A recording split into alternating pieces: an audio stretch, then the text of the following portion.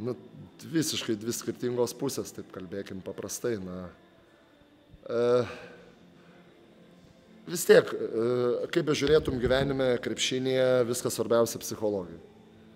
Koks tu ateini, ten gali subraižyti iki smulkmenų, nubraižai, pasakai kiekvieną žingsnelį, kaip žaidėjui dėti, padaryti ir ką, bet jeigu nėra tos energijos, nėra tos širdelės, tai nieko tu čia neprigalvosi, treneri.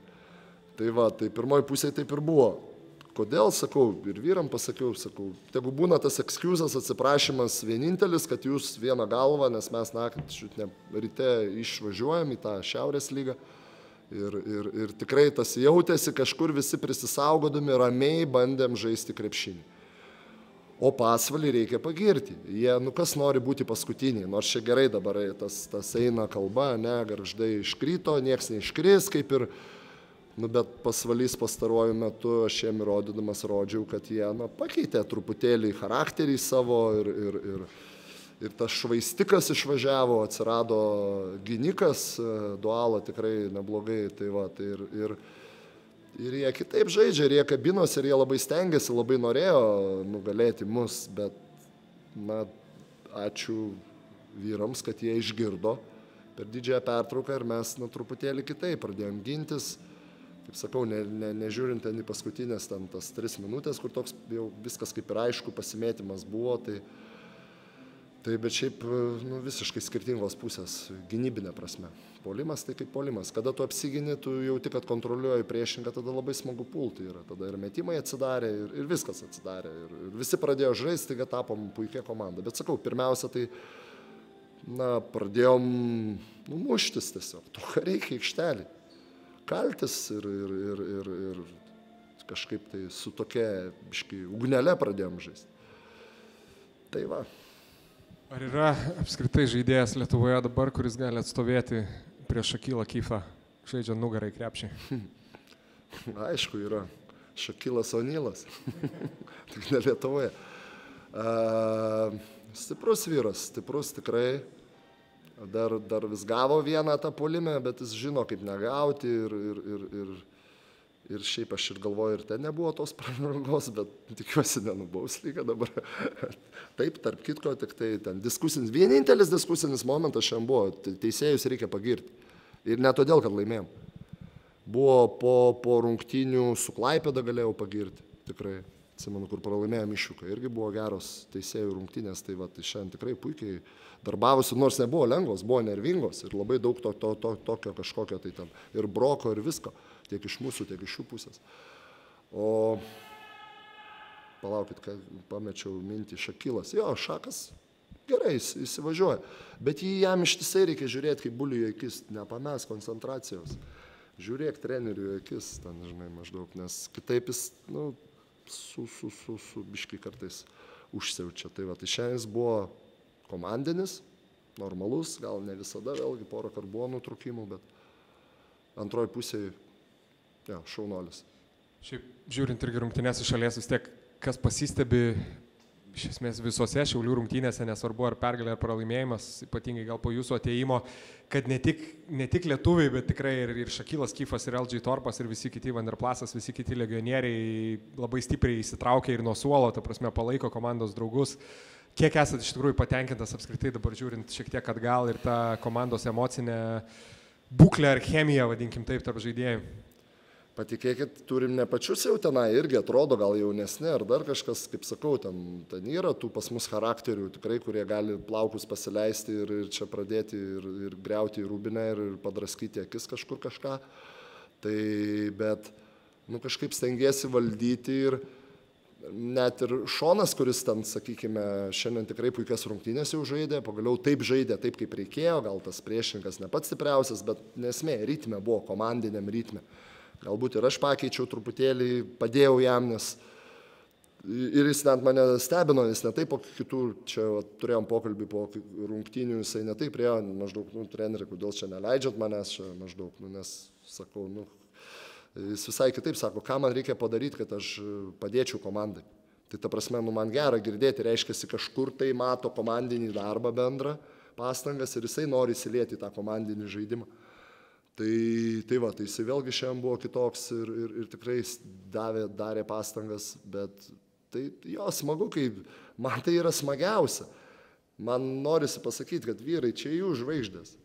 Tai smagiausia, kai ta būna chemija, bendrystė ir dar prie to pačio kažkokia pergalytė ateina. Tai, tai nuostabu. Tai tik tai čia trenerio svajonė. Visada, manau, suburti kolektyvą yra labai, labai nelengva, labai daug darbo kainuoja, nervų, bemėgių naktų, bet, bet tai, yra, tai yra komandinė sporto šaka.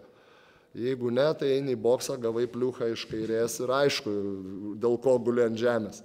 O čia yra nu, 12 vilkų, reikia juos sulibdyti. Tai čia yra pats didžiausias, sudėtingiausias dalykas komandoje tą padaryti. Tai manau, kad mes pakankamai susikliavom, nes iš tikrųjų tai iš tikrųjų labai sunku epizod, e, turėjom na, tą tarpsnį.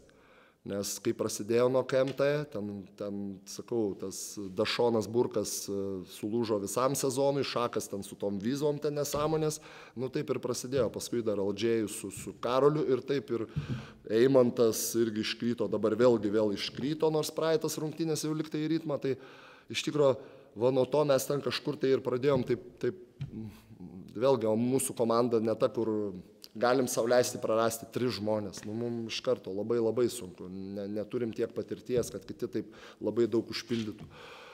Tai, tai, tai va, čia dar keletą tokių niuansų atsitiko, tai, tai iš viso taip truputėlį, tai va, tai smagu, kad truputėlį grįžom kaip komanda į ritmą, sakyčiau, su šitą pergalę ir su pačiu žaidimu gal antroji pusė.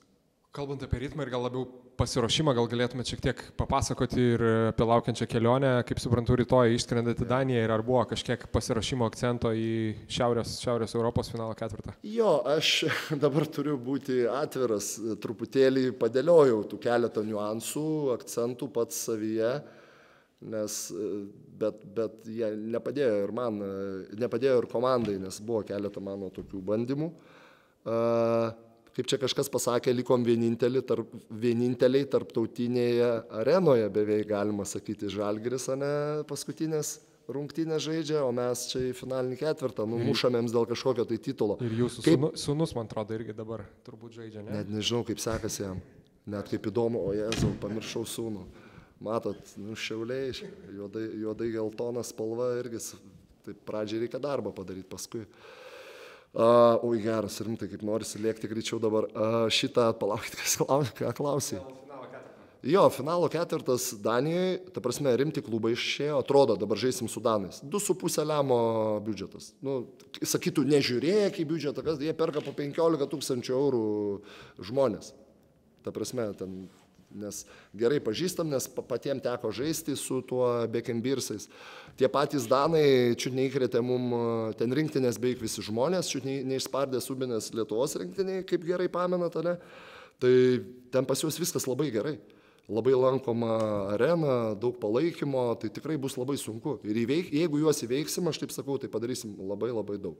Aišku, tikiuosi emigrantų mūsų Lietuvos, nes praeitą kartą žaidėm su Juventus, teko buvoti tenai, tai buvo tikrai jų daug.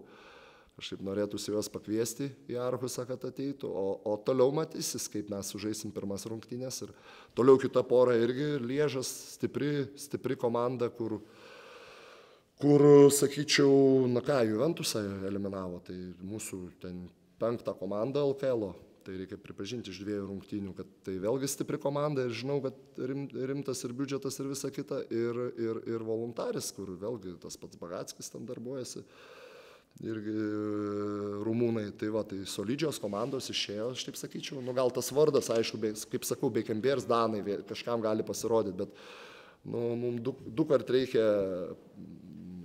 būti, kaip čia, tiek pasidarbuoti, kad surinkti tiek, kiek jie šiai dienai surenka. Tai, tai rim, rimta, rimta, tai va, bet mes aišku, mes norim su lietuvišku krepšiniu įrodyti, kad uh, lietuvišku, kaip čia, truputėlį lietuvišką amerikietiškų, įrodyti, kad es, busim stipresni. To ir tikimėms. Aš gal sakysiu, kad e, ne pirmos mintis apie rungtynės, bet e, trumpas komentaras. Tai sveikinimai Šiaulius su pergalė. Tiek. Kas būtent nutiko antroje, antroje pusėje, Ar tai labiau susijęs su jūsų žaidimu, ar, ar šiauliečių atsaku į, į pirmąją pusę, kad sustojo, sakykime, šiek tiek jūsų, tiek jūsų polimas, tiek sunkiau buvo gynyboje? Aš manau ir tas ir tas.